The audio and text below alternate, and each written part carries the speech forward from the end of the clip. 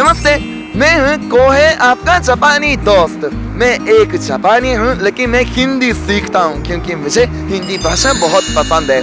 आज भी मेरा वीडियो देखने के लिए बहुत बहुत धन्यवाद कहना चाहता हूँ। मेरे पुराने सब्सक्राइबर्स को लग रहा होगा कि कोहे के हेयर स्टाइल को क्या होगा यार। अब देखिए, मेरा वर्तमान हेयर स्टाइल ऐसा है, इतना बढ़िया है, इतना खूबसूरत है। लेकिन ये वीडियो एक्चुअली तकरीबन तीन चार महीने पहले मैंने शूट किया था। इसलिए इस वीडियो में मेरा हेयर स्टाइल काफ़ी गंदा लग रहा है और मैं काफ़ी ज़्यादा मोटा दिख रहा हूँ इस वीडियो में। लेकिन आप चिंता मत कीजिएगा, मेरा वर्तमान लुक्स ऐसा है और मैंने व्यायाम करना भी शुरू कर दिया है तो मैं मोटा भी नहीं हूँ। तो आपको मालूम है कि ये किस शहर का समंदर होगा? मेरे शहर का समंदर है। मेरे शहर का मतलब ये है जन्म स्थल जहाँ मैं पैदा हुआ हूँ और जहाँ मैं बड़ा हुआ हूँ और जिस शहर में मैंने पढ़ाई की है अपनी। तो आज मैं इस वीडियो में मेरा अपना जन्म स्थल अपना गाँव, नहीं, गाँव तो नहीं कहा जा सकता है क्योंकि ये प्रॉपर शहर है है ना? तो आज मैं इस वीडियो में आपको यहाँ जापान का मेरा जन्म स्थल दिखाना चाहता हूँ। और ये वीडियो बनाने के लिए, मेरे साथ ये वीडियो बनाने के लिए एक बहुत ही खास और विशेष मेहमान आए हुए हैं। तो मैं उनको इस फ्रेम में बुलाना चाहता हूँ। अंजला जी आप लोग इनसे मिलिए। अंजला जी ये। कैसे हैं आप? ठीक है बारी बहुत अच्छी हूँ। अच्छा ठीक है। तो आप आप प्लीज़ अपना परिचय कीजिएगा। जी मैं खोहे की बारी बहन की। दोस्त हूँ और मैं जापान में बॉलीवुड डांसर और इंस्ट्रक्टर करती हूँ। क्या बात है क्या बात है। ये मेरी बड़ी बहन जी की दोस्त है। मैं एक सवाल पूछना चाहता हूँ आपसे कि आपको इतनी अच्छी हिंदी कैसे मालूम है? क्योंकि मैं बचपन से हिंदी फ़िल्म देख देख के सीख गया। कभी पढ़ाई नहीं किया। अच्छा। पढ़ाई अच्छा नहीं है। नहीं नहीं नहीं ठीक है ठीक है। बहुत बढ़िया। तो आप इस वीडियो को अंत तक ज़रूर देख लीजिएगा। हम लोग आरंभ करते हैं।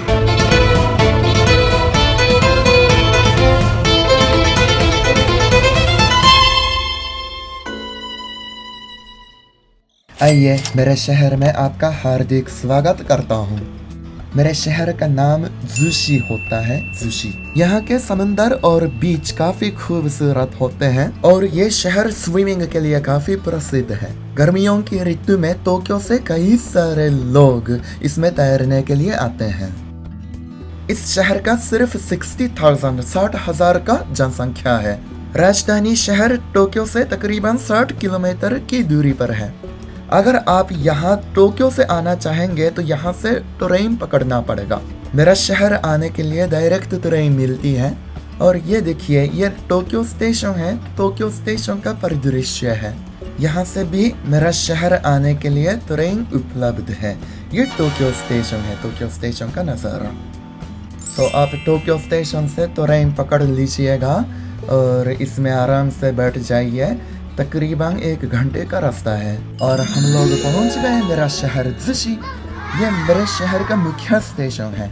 और इस स्टेशन से मेरा घर पैदल चलते हैं तो 20 मिनट की दूरी पर है। तो आइए दोस्तों, मैं आपको मेरे शहर में घुमाना शुरू करना चाहता हूँ। सब्सक्राइब करके घंटी भी बजा लीजिए प्लीज़ सबसे पहले मैं आपको वहाँ लेके जाना चाहता हूँ।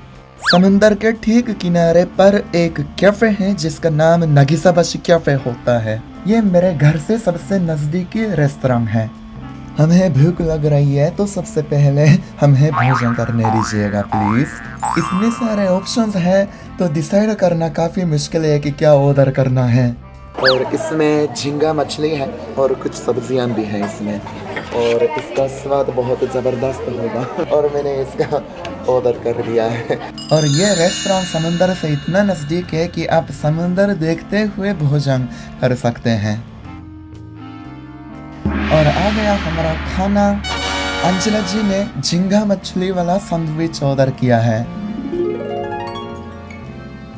पता नहीं है ऐसा कैसे हो गया लेकिन माइक नहीं चल रहा था इसलिए हमारी आवाज़ रिकॉर्ड नहीं हुई। लेकिन हम लोग सिर्फ़ कह रहे थे कि ये खाना बहुत बढ़िया है। बस। बड़ी खाना खाने के बाद कॉफ़ी पीना ज़रूरी है।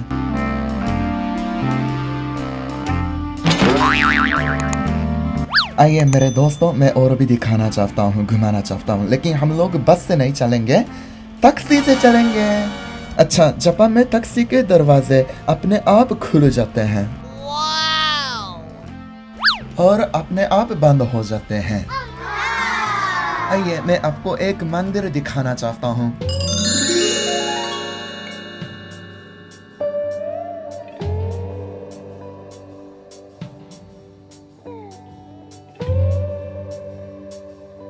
और ये देखिए ना, ये मंदिर का द्वार है, ठीक है, जहाँ से हमें प्रवेश करना होता है। अंदर दिखा देता हूँ मैं आपको।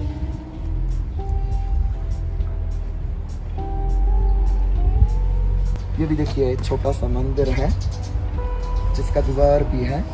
और मैं एक बात बताना चाहता हूँ आपको, ये मंदिर है ना, जहाँ पे भगवान रहते हैं। मगर जापान के मंदिर में, ये देखिए, दारू है, ये दारू। हमारे यहाँ ऐसी सोच है भगवान को दारू अच्छा लगता है, पसंद है। जैसे आपके लिए, आपके भगवान को मिठाइयाँ पसंद होती है ना, यहाँ के भगवानों को दारू पसंद होता है, इसलिए चावल से बना हुआ दारू जिसे हम लोग कहते हैं सके, जापानी भाषा में, यह रखा हुआ है। पूजा करने के लिए जाने से पहले हमें हाथ धोना ज़रूरी होता है, मगर कोरोना की वजह से पानी नहीं है इसमें। हाथ धोना ही पड़ता है। इससे। लेकिन आज तो मैं वो नहीं दिखा पाऊँगा आपको। ये भी छोटा सा मंदिर है। ये अंग्रेज़ी में कहलाता है फॉक्स है ना? आपको फॉक्स तो ज़रूर मालूम होगा। और ये फॉक्स की मूर्ति इसलिए रखी हुई है क्योंकि हम लोग सोचते हैं कि फॉक्स एक भगवान का एक प्रकार का भगवान का जानवर है। और मुझे मालूम है कि दुनिया में कई सारे लोगों को लगता है कि जापान एक प्रकार का बुद्धिस्ट कंट्री है। हाँ ये सही बात है, लेकिन जापान का असली धर्म अलग है, और उस धर्म का नाम शिंतो होता है, और ये श्राइन एक्चुअली शिंतो का श्राइन है तो ये बुद्धिस्ट मंदिर नहीं है।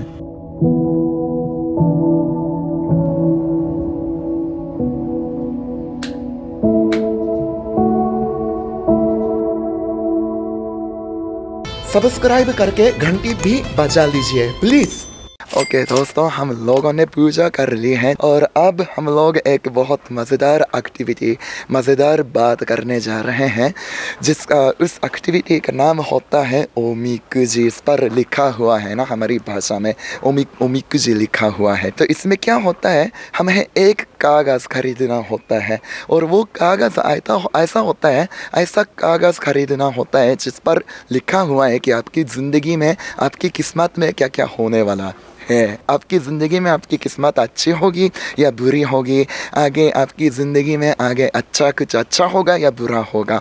और अगर बुरा होने वाला है तो उसको हटाने के लिए, बुराइयों को हटाने के लिए या उससे बचने के लिए आपको क्या करना पड़ता है? ये लिखाया, लिखा हुआ होता है कागज़ पर। आप पहले कीजिए ना एक सौ पचास रुपये देना पड़ता है तकरीबन।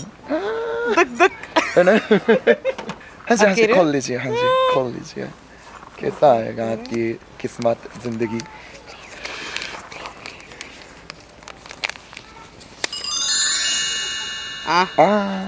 ठीक ठाक। ठीक ठाक। हाँ मतलब अच्छा है मतलब अच्छा है बुरा तो नहीं होने वाला है है ना? अच्छा है वो आपका अच्छा है वो आपका तो क्या मैं भी ट्राई कर सकता हूँ? हाँ जी देखते हैं।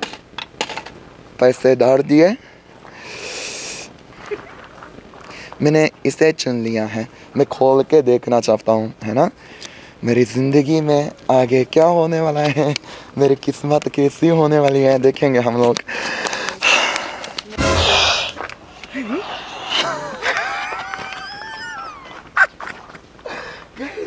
देखिए इसका मतलब है सबसे अच्छा सबसे बढ़िया सबसे बढ़िया। वाह मैं आपको दिखा बताता हूँ ना। कुछ भी करने के लिए अभी बहुत सही समय है ऐसा लिखा हुआ इस पर मेरी किस्मत बहुत ही अच्छी होने वाली है। मैं, मैं हमेशा के लिए इसे रख लूँगा अपने वालेट में। हमेशा के लिए रखता हूँ। हाँ थैंक यू और इस मंदिर के ठीक पीछे इतना खूबसूरत समुंदर भी है।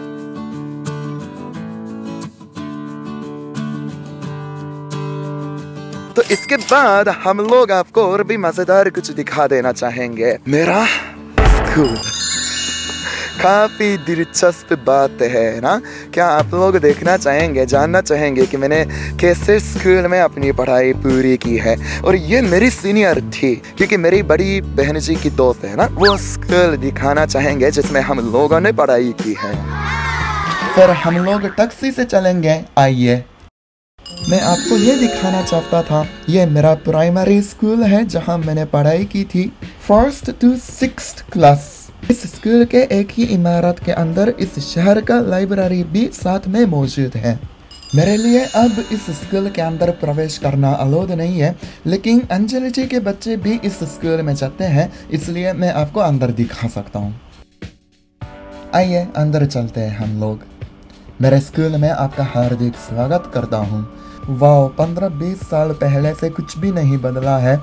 मुझे बचपन की याद आ रही है। ये प्ले ग्राउंड है और ये पेड़ बहुत पुराना है। बहुत सालों से ये मौजूद है।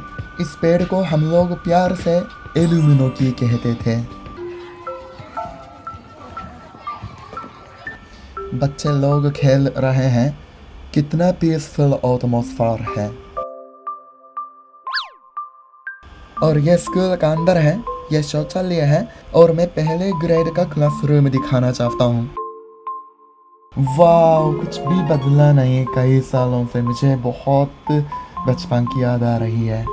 और इसमें इस शहर का लाइब्रेरी मौजूद है, लेकिन इस दिन को छुट्टी थी, बंद था लाइब्रेरी तो मैं बाहर से दिखाता हूँ आपको। देखिए, किताबें हैं ना? मैं यहाँ अक्सर आता था पढ़ाई करने के लिए, कुछ पढ़ने के लिए।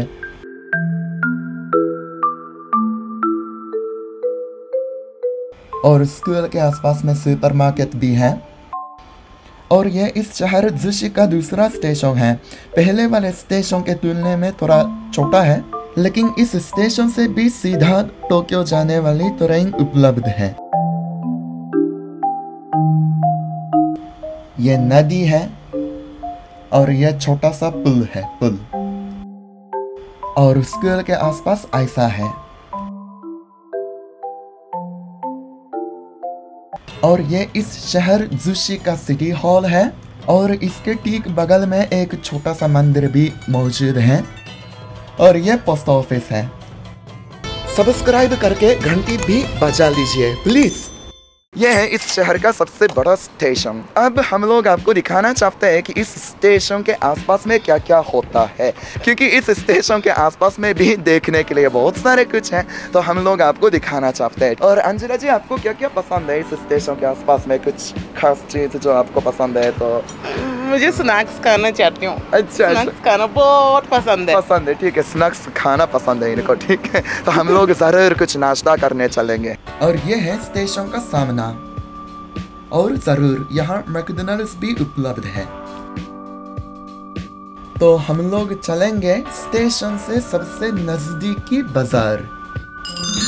ये है मार्केट का नज़ारा।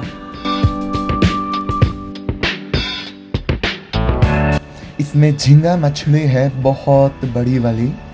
ये मछलियों की दुकान है। ये सब मछलियाँ बहुत फ्रेश होती है, क्योंकि जिस ये शहर तो समंदर के बिल्कुल सामने पर है ना? तो हम लोग कुछ नाश्ता करने चलेंगे।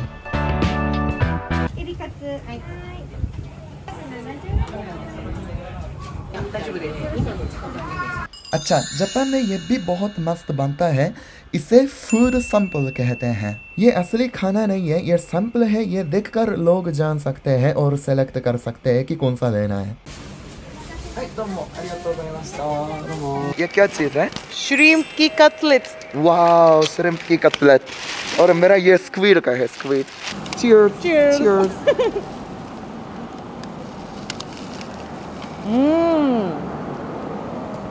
Cheers. ओइशी ओइशी है ओइशी है स्वादिष्ट है हम्म ये दोनों सी फ़ूड है ना दोनों जी, जी, सी फ़ूड समंदर का खाना समंदर का खाना तो नहीं कह सकते लेकिन ये भी एक प्रकार की मछली है और ये भी क्योंकि ये इसमें झींगा मछली है और। इसमें स्क्विड है है ना बड़ा सैड न्यूज़ है यहाँ से निकलकर टोक्यो वापस जाने का समय आ गया। लेकिन मेरा होम टाउन जिशी टोक्यो से सिर्फ़ एक घंटे की दूरी पर है, मैं कभी भी आ सकता हूँ। चलिए, टोक्यो जाने के लिए यहाँ से ट्रेन उपलब्ध है। डायरेक्ट कनेक्शन है, सीधा टोक्यो पहुँचा देने वाली ट्रेन ये है। इसमें बैठना होगा मुझे। चलिए bye Zushi station okay guys आज भी मेरा वीडियो देखने के लिए बहुत बहुत धन्यवाद। आज मैंने इस वीडियो में अपना जन्म स्थल जापान का अपना जन्म स्थल आपको दिखा दिया और मैंने आपको बताया कि मेरा ये शहर है, वो कैसा होता है। आपको मेरा जन्म स्थल कैसा लगा, नीचे कमेंट बॉक्स में लिखकर मुझे सुना दीजिएगा, ठीक है? और अंजना जी है, आज ये वीडियो बनाने के लिए मेरे साथ बनाने के लिए मदद देने के लिए आए हुए हैं तो आप प्लीज मेरे सब्सक्राइबर्स को कुछ कह दीजिएगा はい、えー、っと、もういいんですか、そのままいいですよもうもうもう So, देखने के लिए धन्यवाद जी thank you thank you thank you और इनका भी YouTube चैनल है ना जी, आपका भी जी, जी जी जी इनका भी YouTube चैनल है इस वीडियो के नीचे डिस्क्रिप्शन में इनके चैनल का जो लिंक है वो दिया हुआ है तो आप जरूर चेक कर लीजिएगा इनके चैनल को भी ठीक है और इनको भी फॉलो करना शुरू कीजिए है ना? Please thank you okay guys anyway अगर आपको हम मेरा वीडियो अच्छा लगा होगा तो इस वीडियो को लाइक कीजिए शेयर कीजिए कमेंट कीजिए और मेरे चैनल को भी सब्सक्राइब करना ना भूलें ठीक है? यार सब्सक्राइब करके घंटी भी बजा लीजिएगा प्लीज़ चलो हम लोग अगले वीडियो में भी ज़रूर मिलेंगे। नमस्कार।